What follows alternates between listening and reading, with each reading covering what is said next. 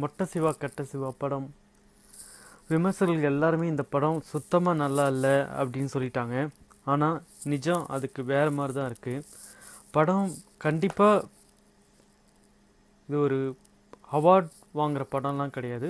ஒரு ஜஸ்ட்டு எல்லாரையும் வர்ற காசு கொடுத்து வாங்குகிற ரசிகர்களை ஓரளவுக்கு அந்த படம் திருப்திப்படுத்தியிருக்குதான்.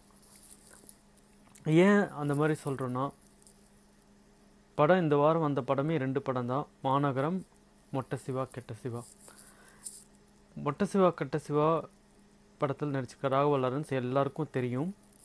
ஸோ எல்லாரோட முதல் வாய்ப்பு சாய்ஸாக மொட்டை சிவா கெட்ட சிவா படம் தான் இருக்கும். வாரம் முழுக்க உழைக்கிற எல்லாரும் வெள்ளிக்கிழமை ஏதாவது ஒரு என்டர்டெயின்மெண்ட் பண்ணணுன்னா ரெஸ்டாரண்ட்டுக்கு அப்புறம் படத்தை தான் ஒரு மெயின் இதாக வச்சுருப்பாங்க. ஸோ இந்த படத்துக்கு கண்டிப்பாக எல்லாரும் போக தான் செய்வாங்க. இவங்க என்ன சொல்கிற மாதிரி இந்த படம் நல்லா இல்லைன்னு சொல்கிறதுனால யாரும் அந்த படத்துக்கு போகாமல் இருக்க போகிறதில்ல இங்கே ஒட்டுமொத்த நம்முடைய தமிழ்நாட்டிலேயோ அல்லது மொத்த இந்தியாவிலேயே வேறு எதுவுமே நம்மளுக்கு சினிமா தாண்டி பெரிய ஒரு நமக்கான பொழுதுபோக்குன்னு ஒன்றுமே கிடையாது. யாரும் கொ- கருத்தரங்கத்துக்கு போக போகிறது கிடையாது. அரசியல் கூட்டத்துக்கு போக போகிறது கிடையாது.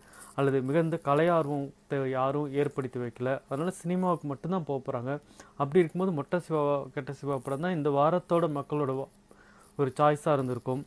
ஸோ இந்த படத்தை பொறுத்த வரைக்கும் ஒரு காவல்துறையில் வேலை செய்கிற ஒரு அதிகாரி தன் குடும்பத்தை விட்டுட்டு தொ- தொழில் தான் முதல்ல நினைக்கிற- ஒருத்தரால் பாதிக்கப்பட்ட ஒருத்தவன் அவருக்கு குடும்பம் தான் முதல்லன்னு உணர்த்து வைக்கிறதுக்காக சில கெட்ட விஷயங்களை பண்ணுறான் அவனுக்கு அதே காவல்துறை அதிகாரி இல்லை காவல்துறை அதிகாரிகளுக்கு முதல்ல சமூகம்தான் முதல்ல குடும்பம் இரண்டாவதுன்னு புரிய வச்சு அதுக்கப்புறம் எப்படி கதாநாயகன் வந்து இப்போ நல்ல விஷயங்களை பண்ணுறான்றது தான் மொத் ஒட்டுமொத்த கதையே. இது காவல்துறை கொஞ்சம் பெருமைப்படுத்துகிற மாதிரி அமைஞ்சிருக்கு படம். அதுக்காகவே பாராட்டணும்.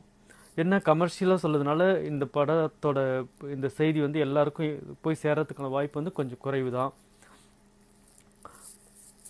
ராகவா லாரன்ஸ் அவருக்கு என்ன வருமோ அவரோட ம- முக எக்ஸ்ப்ரெஷன்ஸ் அதுக்கப்புறம் அவரோட காமெடி டான்ஸு இது எல்லாத்தையும் அவர் அவரோட சைட்லேருந்து பண்ணியிருக்காரு அவர் தப்பு பண்ணாருன்னு சொல்ல முடியாது. கொஞ்சம் மாஸ் காமிக்கிறதுக்காக ஒரு சிலது அதிகமாக பண்ணியிருக்காருன்னு சொல்லலாம். சத்யராஜ் அவரோட க கொஞ்சம் சீன் வந்தாலும் அவரோட கேரக்டர் சரியாக பண்ணியிருக்காரு. அப்புறம் நிக்கில் கல்ராணி கவர்ச்சிக்காக மட்டுமே படத்தோட முதல் சீன்லேருந்து கடைசி சீன் வரைக்கும் அவங்கள யூஸ் பண்ணியிருக்காங்க. அவங்களோட வேலைன்னு சொல்ல முடியாது. அவங்க கவர்ச்சி காட்டுறது அவங்களோட வேலையாக இருந்து அதை அவங்க பண்ணியிருக்காங்க. அடுத்து மிக முக்கியமாக அந்த படத்தில் சொல்லணும்னா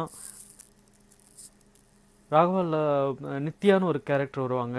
ராகவா தங்கை மாதிரி ஒரு கேரக்டர் மிக ரொம்ப கவனிக்க வேண்டிய ஒரு ஆளாக நடிச்சிருக்காங்க. அவங்க அவங்க காமிக்கிற சின்ன சின்ன ஒரு எக்ஸ்ப்ரெஷன்ஸ் கூட ரொம்ப நல்லாயிருக்கு ந- நல்லா அவங்களுக்கு தொடர்ந்து வாய்ப்புகள் கிடைக்கணும்.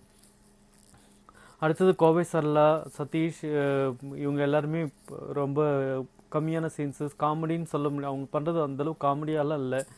ஏதோ அவங்களோட ரோலை ஏதோ பண்ணியிருக்காங்க மொத்தமாக இந்த படம் வந்து நீங்கள் கொடுக்குற காசுக்கு ஓரளவுக்கு அந்த படம் அது ஒர்த்தாக தான் இருக்கும். படு மோசமான படம் சொல்ல முடியாது.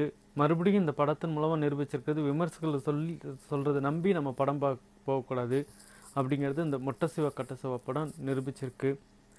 எல்லோரும் இந்த படத்தை பாருங்கள் நன்றி.